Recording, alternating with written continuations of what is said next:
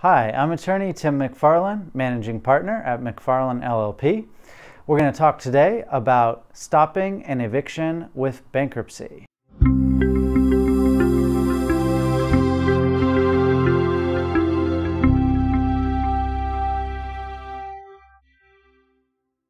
So we get asked all the time, will bankruptcy stop an eviction? And uh, the answer is yes, typically it will there is a little bit of, uh, of a twist or a nuance to that, though. So it's not always the same answer. Bankruptcy will stop an eviction if the eviction judgment hasn't been entered yet. So if an eviction's been filed, um, unlawful detainer or eviction, whatever it's called in your jurisdiction, if that's been filed and you have a court date in the future, but you have not actually gone to the trial, the unlawful detainer or eviction trial, then yes, filing a bankruptcy after an eviction has been filed, it will stop that eviction. And maybe stop is a little too strong of a word. It will delay that eviction.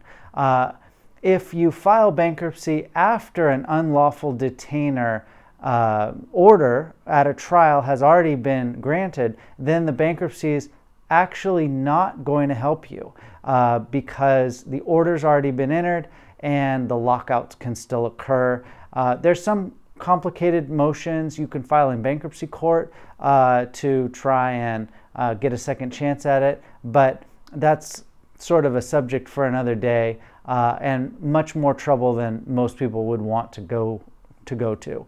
So Bottom line is bankruptcy will stop an eviction, but it must be filed before the uh, eviction court has a chance to rule on the eviction. In that case, what would happen is uh, the, the landlord or the landlord's attorney would go ask the bankruptcy court for relief from the bankruptcy stay so they could still go recover possession of the premises. So bankruptcy is not going to get, get you the opportunity to stay for months and months or years, but it will get you a little bit of time. Might get you 30 days, might get you 45 days, something along those lines.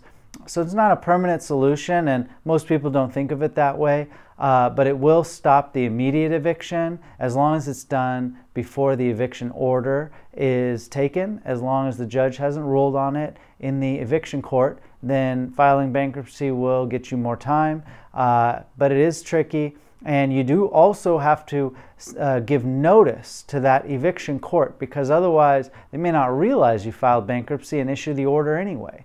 So that's uh, another thing to keep in mind. That's the bottom line on bankruptcy and eviction. I hope you like this video.